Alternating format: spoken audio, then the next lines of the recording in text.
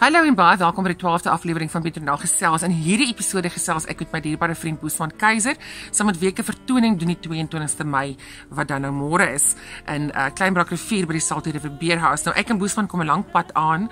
Hy het gespeel op, uh, op meer as een album van my, onder andere uh, Weergaloos 2006-2007 se kant. Um en en toe het ons weer ons baie vertonings gedoen, baie uh, uitgespeel op vir my enkelsnitte soos Grootbrak Land wat ons laasweek uh, gebeeld sien het.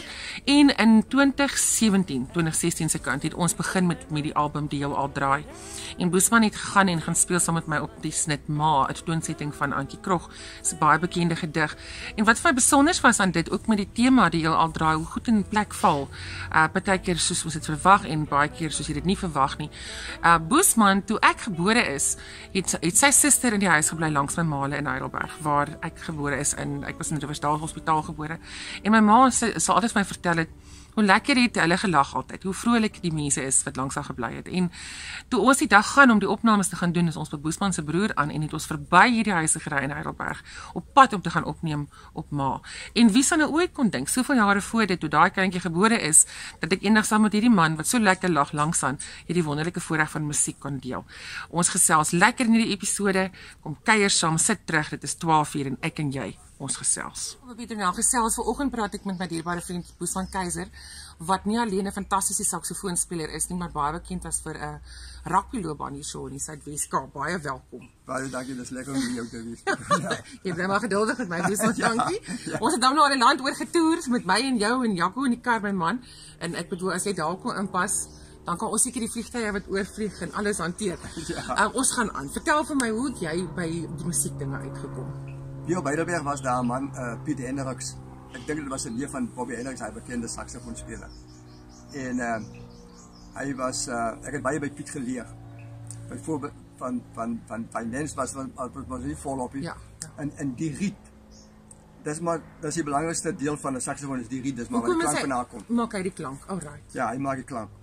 Zo. En dan met die tijd, dan wordt hij papper dan uh, in in daai tyd het ons twee pennies dat dan twee pennies een aan die kant en aan die ander kant dis dan maak hy die perfekte ronding van die riet. OK. En uh, dan dan sê jy hom so so millimeter en 'n half of so. Dan brand jy hom. Dan sê jy weer 'n bietjie styf en dan kan jy weer 'n hele ruk speel. OK, dan kom jy eentjie vet. Ja, wat kos so? Piet, want wie ek het en ek begin het hy 15 sent gekos. Ja. Hy kos nou 80 rand. Ja, dis baie groot ja, verskil nou oor die Maar uh, en, wat ek ook met Piet geleer het is is is die uh, die note is mos is, is leerpads wat om daar dig druk. Okay. En dan verhard hulle ook met die tyd. Alright. En dan het hy my gesê met hulle plak met 'n sellotape daai om toe dat die note almal toe is. Okay. En dan het hy my gesê dan moet jy hom laat bad. Bad jy dit dan in die okay. bad onder water in die bad so vir 3 uur. dan swel jy leer wie so bietjie. Dan speel jy ook weer 'n hele lang ruk met dit. Want as jy dit nie doen nie, hoe moet jy daai leerpatches vervang met ander woorde? Dit vervang. Ek het nou hier ek wil ek sal dit moet laat doen. En uh, om hom heeltemal te laat vervang kos die kos 8000 rand. Ja, jy sê dit musiekinstrumente ja, in die ja. instandhouding is maar duur. Ja. Hoe oud is jou saksofoon? Ek het hom in 1968 gekoop. Dis like My ma het hom vir my gekoop. Oh, wow, ja, ja. Hy kan 'n paar ja. stories vertel, né? Nee? Hy kan 'n paar stories vertel, ja. ja. en jy, jy ons het nou al gesels oor dit oor die rugby hoe hulle musiek gemaak het. Vertel ons 'n bietjie meer van hoe het dit nou gewerk as jy ook daar rugby gespeel het, maak jy musiek? Wie ons as dit vanaand as tuiswedstryd. Ja. Daar was altyd 'n dans is. Okay. En dan ons na die wedstryd het ek ons as orkes ek het saksofoon gespeel met my broer Orl en uh uh, uh Charles Marshall het drama gespeel en Tex iemand het gitaar gespeel en Pieter Lawrence trekklavier. So dit was 'n lekker orkes. En dan wat se musiek maak jy? Boere musiek. Ja, ja, lekker da lekker dansmusiek, ja. En ja. nou op die stadium gebruik jy jy pragtige backtracks wat Alan Green vir jou onder andere gemaak het, né? Dis 'n fantastiese ou daai. Hy is 'n wonderlike ja, musiek. Hy speel 22 instrumente. Ja, ja, nee. En die, dan ek sê vir hom altyd as ja. ek saam met hom speel, dan klink dit of ek ook goed is. hy is goed. Vreeslik nederig, maar hy is baie goed. Nee. Hoe is man so die musiek wat jy van hou uit die 40s, uit die uh, sal ek sê daai oorlogsjare se musiek? Ja, ja, dis lekker nou doen. Smoke iets ja. in my eyes. Ek dit nou reg, nee. Ja, it had to be you and die ja. and uh, sailing daai lied. Okay, daai is een van ons wat ons ja, 'n bietjie meer ja, buiter wees. Ja, ja. En um, uh, dan wil ek jou vra oor die vertoning wat jy saam met Oliver Jon gedoen het. Daar was vir jou hoogtepunt geweest. Ja, wie in in 2005 by die uh, Karoo Kunstefees, né? Nee, het hy my gebel dat hy 'n program gaan oor die Kaapse musiek. Toe bel hy vir my, toe sê my man, ek wil hê jy moet kom saksofoon saam speel want eh, uh, jij speelde in zijn Kaapse mensen. En uh, Mooi gevoel. Toen gaan ik dus nou toen, ja. ergens half op een sinewis, je weet, gaan dus oefenen. Ons met al Ahmed als, als, als ons op je programma. En, uh, Was het bij de IJsgenoot vroeger geweest? Bij de IJsgenoot voor, okay. ja. ja. En, uh, wow. Ik was al Syriër daar, nou, maar ik zie niemand verder niet. Toen waren we Syriër, komen alle daar aan. Nou vraag ik, uh, maar dus oefen, gaan dus oefenen of iets?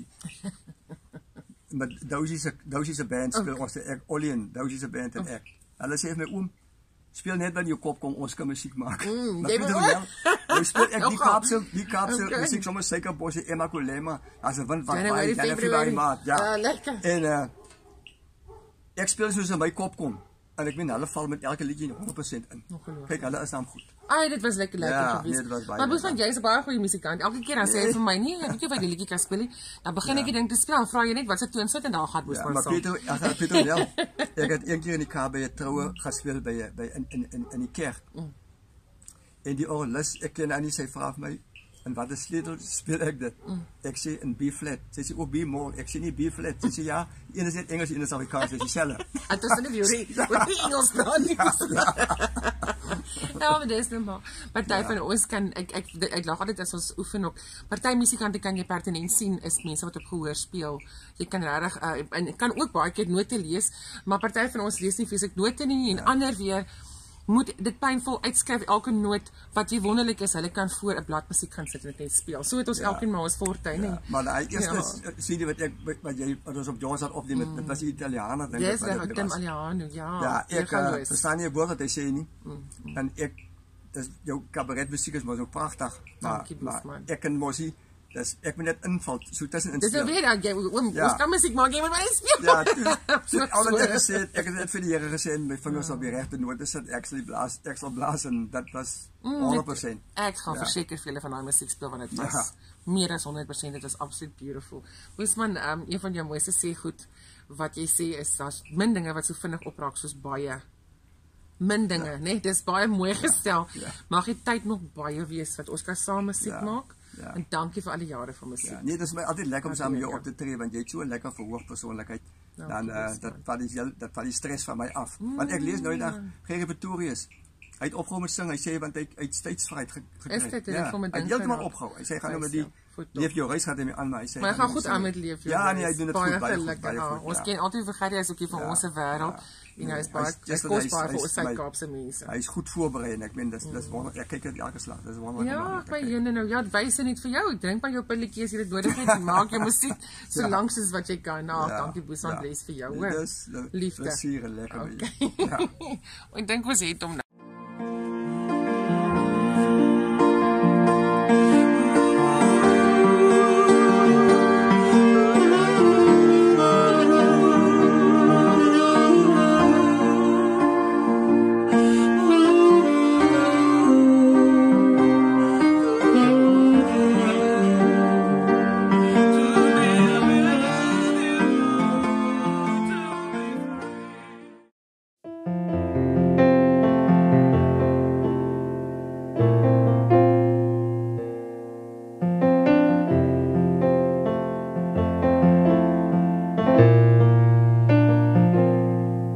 gevra waar ek my baard dra. En is dit rooi? Sonlig middag diep in jou lag, winterskelke van verwagtinge. Grei daar ongenooi.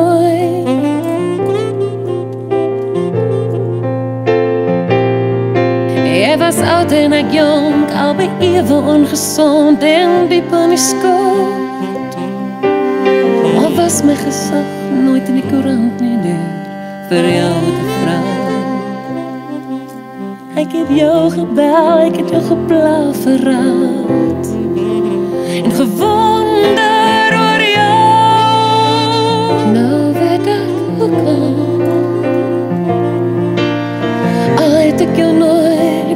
verkenning voor wie jij is.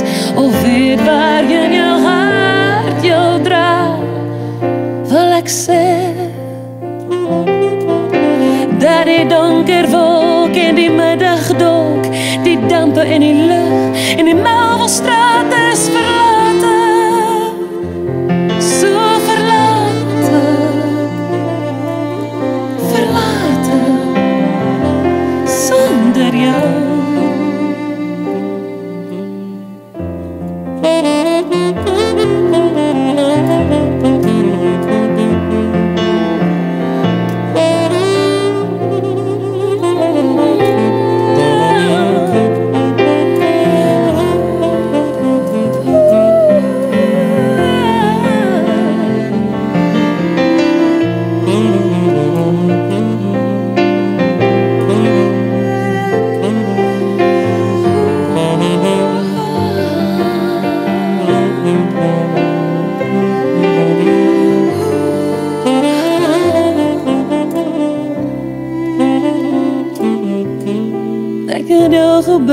In je geplaverat.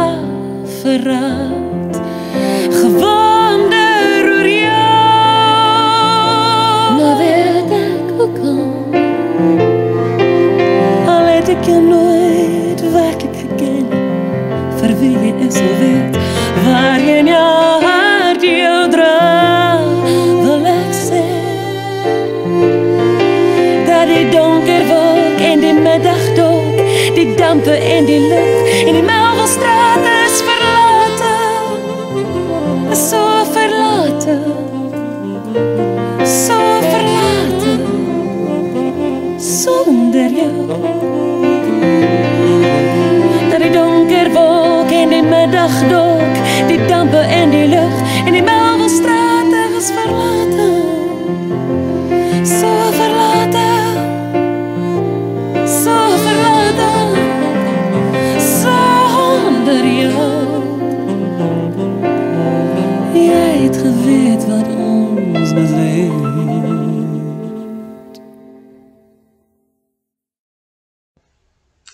Ja, Christy Herbs het lanklaas 'n draai saam met ons kom maak. Die rede daarvoor is dat sy in die Kaap was en uh vir 'n operasie gegaan het.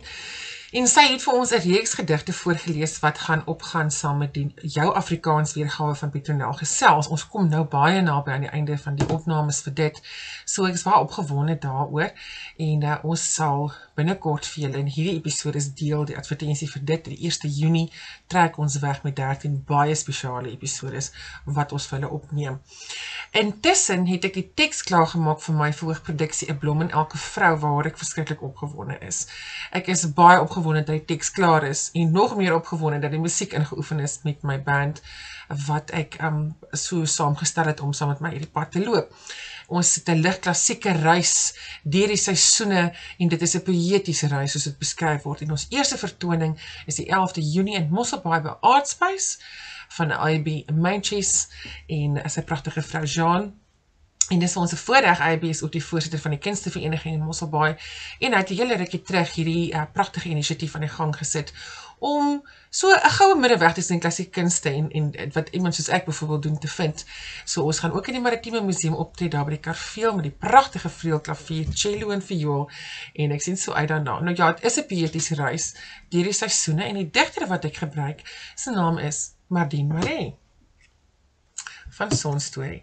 Nou, julle sal weet, die wat saam met my gekuier het ook laas jaar met die virtuele vertonings, dat ek 'n 6 maande pad eintlik langer saam met Fanny Marie gestap het om verskeie aanlyn produksies te doen toe ons in baie streng grendeltyd was. En Madine se storie wat 'n jong skrywer was wat vroeg oorlede is, te vroeg, het um, my hart baie diep, diep aangeraak. So hierdie teks is gebou in 'n groot mate rondom haar gedigte en die, soos ons sê, deur die seisoene reis gesels ek ook van haar gedigte. Ek sal sê die digter stel dit so en enetjie wat ek gebruik en graag vir julle wil voorlees vandag. Sekerlik nie so mooi soos wat Christie gaan weer vir ons op die programme ook lees. Dit doen nie, maar ek wil 'n bietjie digkuns weer inbring. Vergifnis van Madine Marie. As gister hardop soek na nou. En nou vergewe kwart.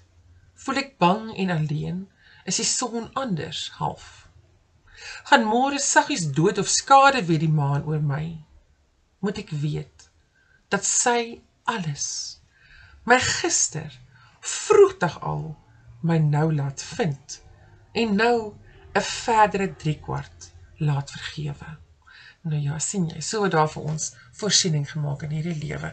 Ek hoop jy kyk lekker saam met ons in hierdie 12de aflewering van Petronel gesels.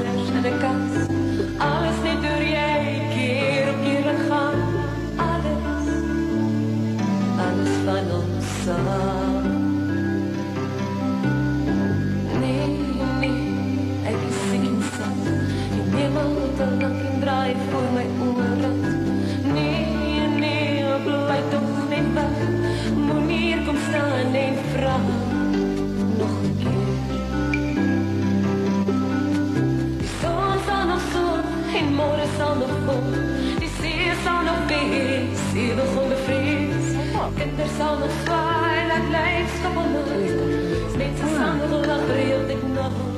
Ons het gekyk na Petronel Baard, vanjaar se wenner van die Crescendo kompetisie. Petronel, geluk, welkom by Prontheid. Hoe Baie baie lekker, dankie. Ek is baie bly om te wees. Ek is baie opgewonde. Dit is 'n wonderlike geleentheid. Jy's 'n drama student, jy's besig in jou honeursjaar by Stellenbosch. Dis reg, Hoe het dit ja. gekom dat jy enigstens deelgeneem het? En Casino, ek het ek neem Kuba Wickham sang. En dis ek vaak of ek graag sing, so wat moet ek doen? Dis is maar die beste manier skryf in vir Crescendo en kyk waar kom jy. Ja, want 'n klomp van die mense wat vandag bekend is, het ja. daar begin, hè? So Kuba hulle self, sy en Randall het ook daar begin. Ja. So ek hoop net maar ons kan verder gaan daarmee. Waar het jy begin met jou inskrywing? Want ek dink dit is 'n verskriklike senitergende stryd om so deur al die rondes te gaan. Ja, ehm wel, ek het 'n liedjie geskryf. Vir die eerste keer in my lewe en ek het die jaar begin musiek skryf en ons moes elkeen twee instuur. Dus ek dan maar die CD vir hulle gebring. Ek het self gekom Johannesburg toe. Mooi, mooi, mooi. En toe is maar gekyk elke rond. Ek het nie gedink ek gaan inkom eers nie. Dit is nou eers semifinalis, finalis om uiteindelik vanaand hier te kan sit. Maar dit was baie erg. Dit is 5 maande wat mens doodmaak regtig. En dan bys jy nog besig om te swat ook. Ja. ek kom daar nog deur so half. okay, okay. Ja. Jy kom van Viliersdorp af. Dis reg, ja, is nie Boilat, naby Fransie. Ja, nee, ek weet en dit is 'n baie mooi dorp. Ek het Dis al familie wat daar. bly. Is. Maar nou wil ek jou vra, waartoe mik jy vorentoe? Suid-Afrika, elders, want dit is hoofsaaklik kabaret, is ek reg? Ja, cabaret, maar ek is lief vir alle soorte musiek en veral vir Afrikaans. Ek het 'n verskriklike passie vir Afrikaans. En ja, ek mik want dis dis my taal. Dis ons identiteit en ek is lief daarvoor. Ek dink ons het nodig om 'n slag weer bly te raak soos ons rugby. om bly te raak oor ons taal ook en beslis nog nie oor serie nie. Ek ek wil nie bly, ek wil nie so sing. Ons gaan nou hopelik in die begin volgende jaar 'n serie sny en dan uh, sal ons probeer om op Oudtshoorn vry te stel. Ons gaan nou kyk hoe die tyd ons inhaal, ja. Lekker. Ja, want buiten die die ehm um, gelekker fit check wat jy gewen het, mm -hmm. is daar ook natuurlik 'n 'n serie wat geborg word deur die Ja, Attica. die Attica ja. Hulle doen ongelooflik baie regtig vir Afrikaans. Ek is baie bly daaroor. Het jy st- 'n sterk kompetisie in die eindronde gehad? Verskriklik. Jeden, die mense is so talentvol. Dit was fantasties eintlik. so ek dink is dit is moeilik om 'n keuse te maak wie is nou die beste. Dan ek kan nie regtig die smaak verskil so baie. Maar ek is bly om hier te kan sit. Ja, ja. Ons die video waarna ons nou gekyk het, Ja. hy kom van onlangs af. Ja, jaar ehm, gesny. Dis van die jaar gesny. Die 6 finaliste. Dit is die 12 semifinaliste wat elkeen op die serie verskyn het en toe kies hulle 6. Die mense, die mense stem toe. En toe kry ons elkeen 'n musiekvideo deur wat gedeur geraas gedoen is. Dis van hulle gespeel is. Ja, Maar dis 'n baie. baie video waarna ons nou Ja, gewoon die mense is baie goed wat dit gedoen het. Hulle is pragtig. Hulle ken hulle werk. Ja, ja. Nou ons gaan na nog 'n video van jou kyk of verder kyk en kan as jy so vra, jy maak klaar vir jou met jou honeurs? Ja. Wat beplan jy vir volgende jaar? Wel, ek gaan show, ek gaan ek gaan optree en ek gaan toer oor die land en hopelik nog baie verder gaan daarmee. Dis 'n interessante ding wat jy sê van show, want dit beteken dat hierdie ding het jou so hupstoot gegee dat jy kans sien daarvoor om as 'n vryskut kunstenaar eenvoudig net Wel ek sou anyway moes as ek ehm um, as ek en dan het ek nie gewen nie. Jy moet in elk geval dit doen. Jy moet nou op so vryskut basis begin. En omdat ek cabaret wil doen, is dit die tipe ding wat ek graag sal wil doen, ja. Wat het jou laat besluit jou jou stemkleur of hou jy doodgewoon van cabaret? Baie liefde vir ek is 'n vreeslike liefde vir Amanda Strydom en Elsbeth Lietsman. Net ek bestel baie bewondering vir hulle. En ik denk in Afrikaans is het werkelijk een braakveld nog in cabaret. Maar ook in jazz en blues en al die andere dingen. Het nog niet geëxperimenteerd meer. Nie. So, ja. Hoe kom je nog een vroeg muziek geschreven? Ik weet niet. Ik denk ik was raar gevonden. Ik denk ik het nou weer raar. Ja. Ik denk, is daarop is daarom. Ik heb baar gezingen en ik heb opgetraind Zo hier en daar op mijn bruifeestelijk zitten. En soms de gitaar vat en tokkel en nonsens zing. Ah. En ik denk, voor de eerste keer was ik misschien rijp genoeg daarvoor om het te kunnen schrijven. Schrijf je primair voor het klavier? Je speelt ook gitaar? Klavier ook gitaar, maar primair klavier, ja, zeker. Ja. Als je gaat zitten om te toon zitten of te, zitten om te schrijven, dan doe je dat mm. nog bij die klavier? Ja, verkieslijk. Nee, altijd, is ieder liedje wat um, gewinnen heeft, ik bij de gitaar geschreven, genoeg snaaks het? genoeg. Ag, dit dit hang maar af wat my gemoedstemming is of waar waar die liedjie gaan ook, ja. Ek dink dit is 'n wonderlike aand as jy besef jy was tussen ander talentvolle deelnemers baie. en jy's die wenner. Dis fantasties. ek het eers hysteries gehuil en toe hysteries gelag. Ek was baie opgewonde. Want dit is 'n lewenslange droom. Ek wil baie graag sing. Ik vind het interessant om je te gesteld. Ik weet je gaan kap, dus het fit handen bij. Ja, um, nou in die vakantie, want kijk, die mensen kijken naar vanaand, dan willen hulle graag je ook zien. Ja, ik denk ons niet die eerste maar daar is willen van een groot dag oor AIDS en alles. Die, die cabaret okay. zelf gaan oor HIV. O, ek sien. Het jij geschreven? Nee, ons het dit in workshop, dus hulle zijn samengeschreven onder hmm. regie van Blyskag. O, ek, ek, ek, ek, van ek, ek, ek, ek, Ja, ek, ek, ek, ek, ek, ek, dit is verskriklik lekker om met jou te gesels, Baie dankie. Ek wens jou geluk. Ek dink dit is 'n wonderlike prestasie op 'n vroeë ouderdom in 'n ou se lewe en baie sterkte vir vorentoe. Jy sien vir baie kans. Ja, ek doen. En sterkte vir julle. Ek hoop ons gaan Ja. Afrikaans nog ver vat. So saam met saam met sulke jong opkomende talent kan ons nie anders Nee, nie. verseker. Die oues en die jonges. Dankie. Baie dankie dat jy vanaand ingeskakel was by ons eerste pronte. Dit was vir ons in die ateljee baie lekker. Ehm ons gaan volgende donderdag aand beslis 09:30 tot 10:30 weer so.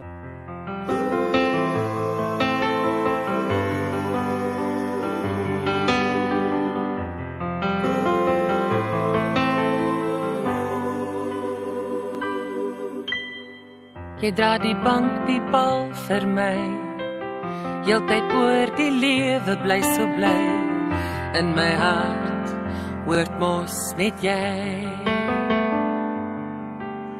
In Mosselbaai se wondertuin Proe jy soos pochums by se wyn In Santos strand lok jy heide na die rand Jy is die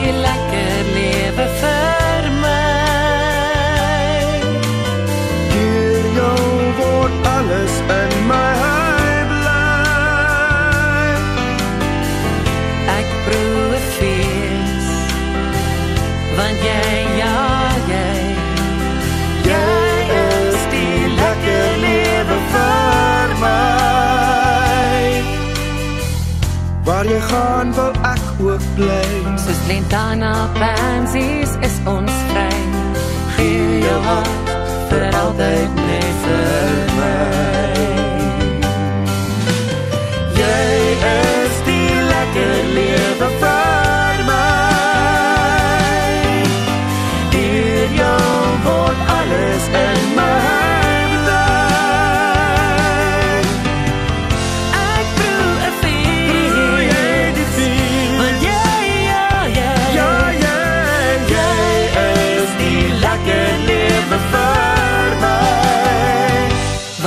het jou lief. My hart het diep. Vermaak my nie meer nie. Nooit weer jou seer nie. Want ek het jou nodig. Soos kos en die lewe. Vergeet die verlede. Want ek is jou hierde. 'n Vette morsel by Pinkes pastorie By klapbyk glas sê die ou dominee Van Fremmersheim se stoele vertel. Die mall en die shed en die hotel Plekke van gister, ons drome register. Waar jy dans het ek wou weer geval. 39 long at all